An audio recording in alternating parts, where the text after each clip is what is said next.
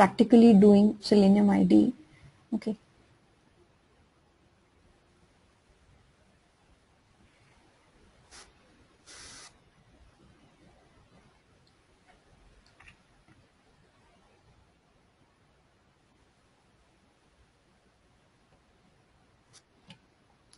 Okay, suppose say um, I asked you people to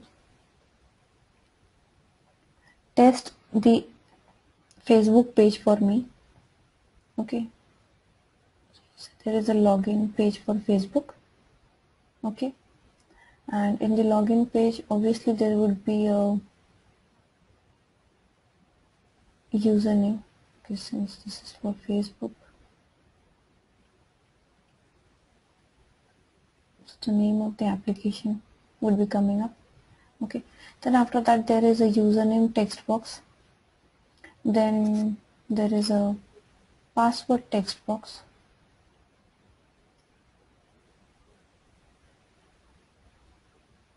okay.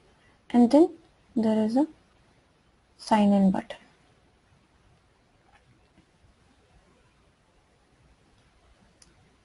Now if I ask you to execute or you can say that if I ask you to check that whether the sign in button is working properly or not, how are you going to check it?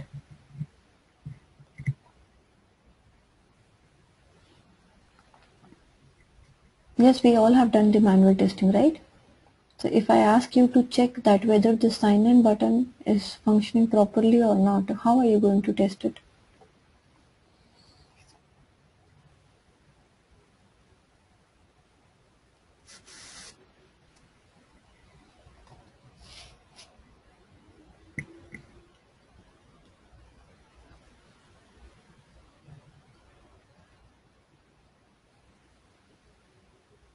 Okay you are going to write down the test cases wherein you're going to put the valid username valid password okay and then clicking. Okay then with the invalid also okay. Okay. So basically what you are going to do if I ask you you are going to yes correct Kavita. So you are going to write down the steps okay? If you don't have the application ready with you okay and if you have the SRS document the requirement document with you so what you are going to do you are going to write down the steps that enter the username. Okay in username text box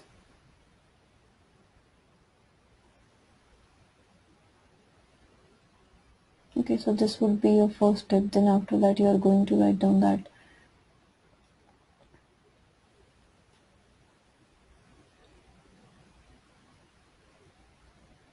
You have to enter the password in the password text box and the third step would be click on sign in button. Okay. Now when you're actually executing it okay if you have this application ready with you okay when you're actually executing it how are you going to find out that where is that username text box or where is that username field? Okay and obviously there would be the uh, input data also that you have to enter. So can anyone tell me how are you going to find out that where is that username text box Eh, wherein you have to put the username. Okay and where is the password text box wherein you have to put the password? And moreover where is that sign in button onto which you have to click? So how are you going to find out?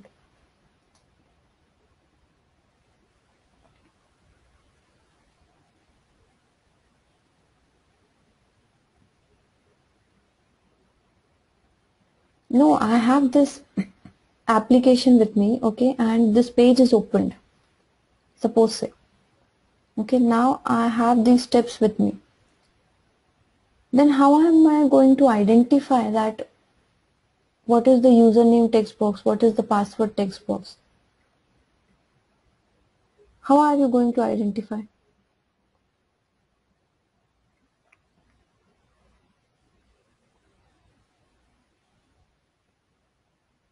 Yes, anyone?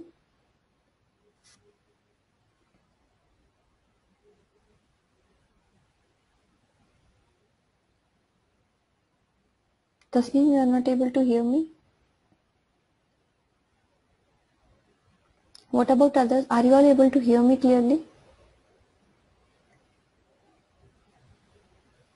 Okay, now you can hear me. Okay.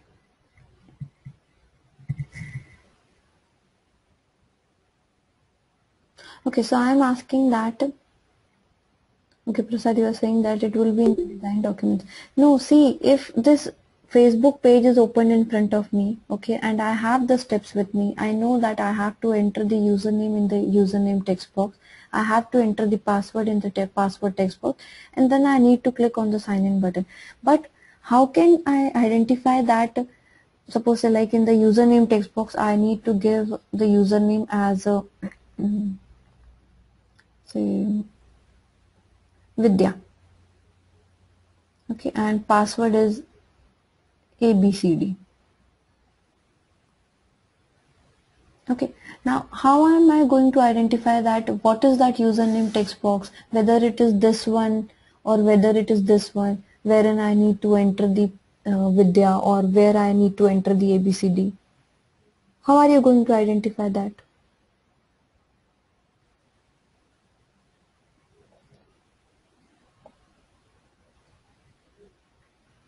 Correct, Samantha you will see the field names. Right?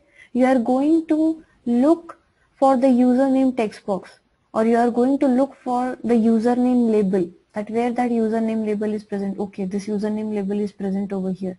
Okay, so the text box is here. So I need to enter the uh, data that is Vidya over here. Then the password text box label is here and the password text box is here. So I need to enter ABCD over here. And then you are going to look for the sign in button. Okay, so your help, your eyes will help you to identify what all are the different objects that you are looking for. Right or wrong? Won't your eyes help you to identify that where you need to enter the data if you are manually executing it? Correct? Yes. So over here, while actually executing it, our eyes are playing the main role. Okay, our eyes and our hands. How hands? Because we need to enter the data. Okay, and for entering the data, we need our hands.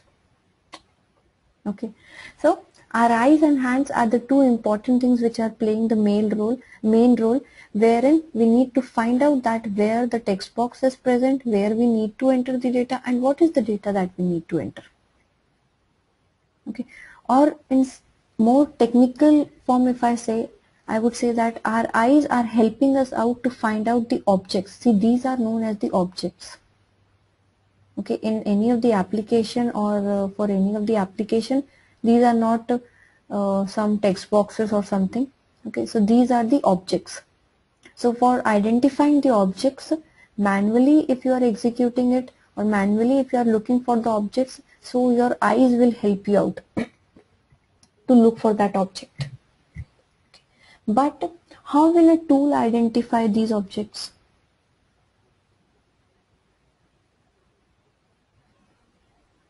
because tool does not have any of the eyes right? So how can it look into the things? It can look into the application and see okay I have to enter the username over here. I have to enter the password over here. How is it going to identify that where the text box is where what things needs to be entered?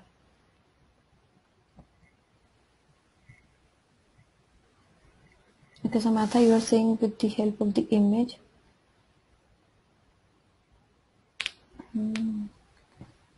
But username which is present of the which is present over here it does not have any image. Okay it is not having any image.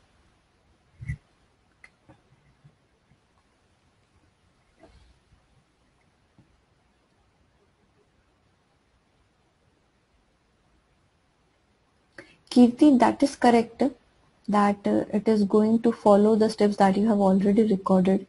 Okay but if you have to generate the script on your own okay then over there you need to give that which is the part of the application that it should took up it should take up sorry okay in order to hit that particular button or in order to enter the data into the text box okay so for that you need to have the knowledge of the things that how it is identifying for that particular object. Okay. So let me tell you see over here while manually doing the things if our eyes are helping us out okay so with the eyes with the help of these eyes we are referring to the objects. Okay we refer with the eyes and then we enter the things. Okay. But if we are like doing any of the tool if you are using any of the automation tool. So in automation tool also there is a mechanism okay it has its own way to identify the objects. Okay and you can say that mechanism or that uh, reference which, which it would be using to identify the objects which are present into the application that reference or that thing is known as the locators.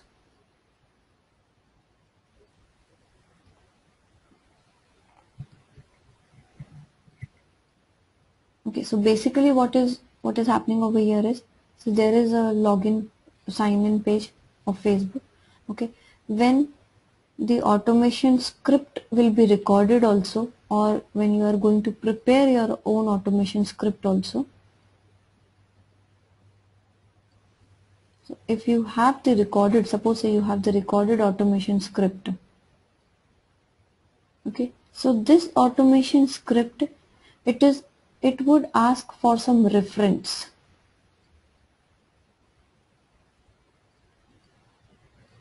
Okay, because to execute any of the automation script, it needs to know that where it has to input which type of data and where is the button present or where is the link present it that needs to be clicked or that needs to be entered the data into.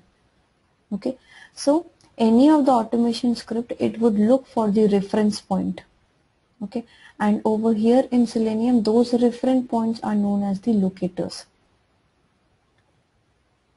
Okay? So you need to pick up the location you can say or you need to pick up the locator of the username text box and put it over here in the automation script so that it would be able to it will be able to understand that where it needs to put the uh, ID that is Vidya.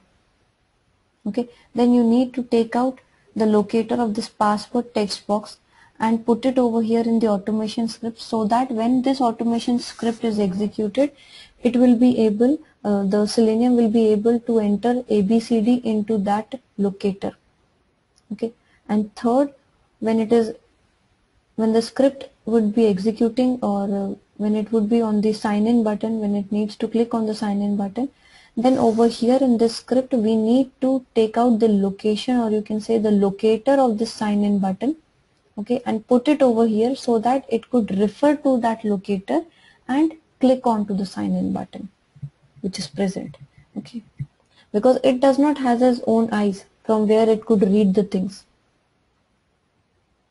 Okay so over here the mechanism or you can say the reference point would be the locators in selenium. It is known as locators okay? And this whole thing wherein uh, either the manually uh, doing the things either by manually doing the things or you can say by using the automation tool if you are identifying any of the objects. So that mechanism is known as object identification mechanism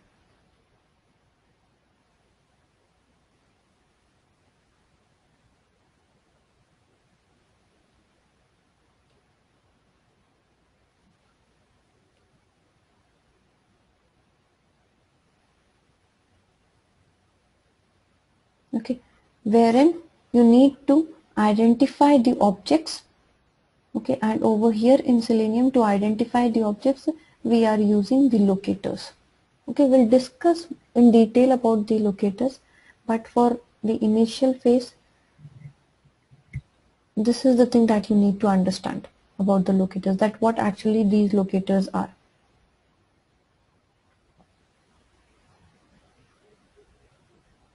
Kirti, if anything went wrong, then uh, we need to go into the script and uh, do the modifications.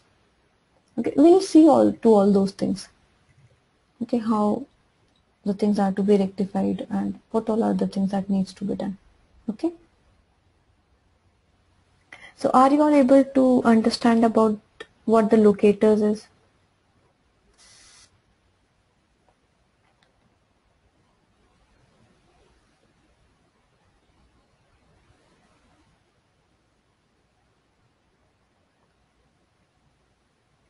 okay then um, let me just show you that how the selenium IDE looks like. Okay and uh, see i told you that selenium IDE is supported only by mozilla firefox browser.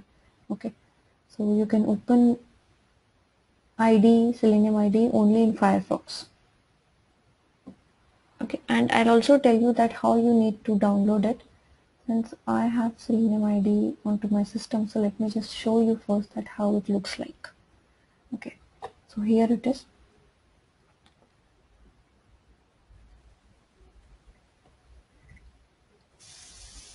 Now whatever things you are going to record those things would be recorded over here in this particular area.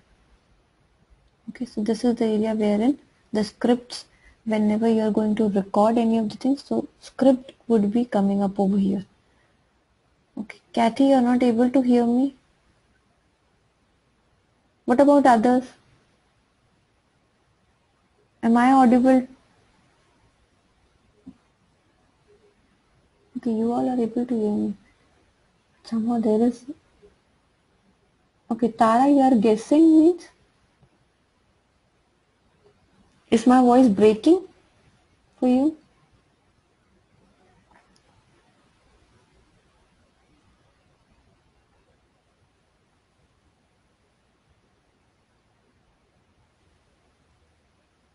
Okay, you're good. Okay.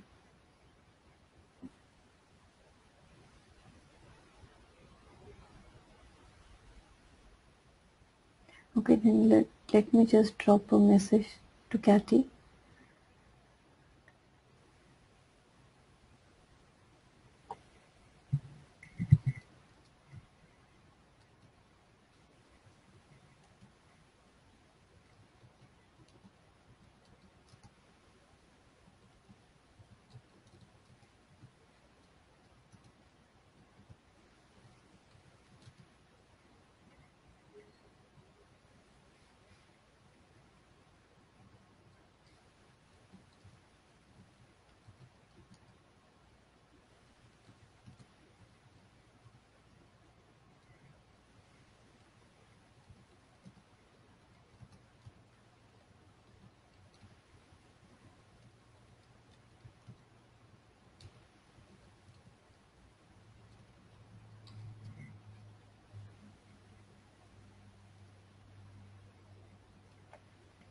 Okay.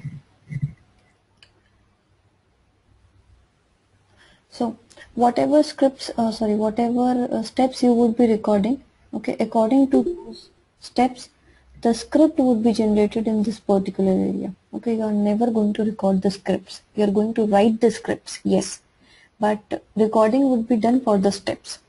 So mark the words correctly. Okay.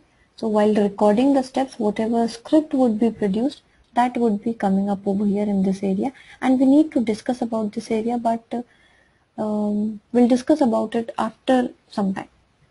Okay? Then after that all the test cases that would be present okay that would be coming up over here. And from here you can um, save the test cases that I'll show you and you can open any of the test case then after that you can all see that there is a red button present over here okay? By default this means that it, this button is actually for recording okay? And whenever you are going to open Selenium IDE for the very first time okay if you are opening IDE in Mozilla Firefox for the first time then it would be in recording mode only. Okay can you see over here? It is now recording. Click to stop the recording. Okay and once you have recorded your steps then you can again click on that button. So it would stop the recording now. But by default it would be in the recording mode. Okay? These are some things that are important to know. Okay let me just show you that how the things work over here